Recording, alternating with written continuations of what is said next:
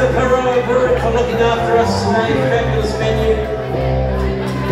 Thanks to My Six for having us along.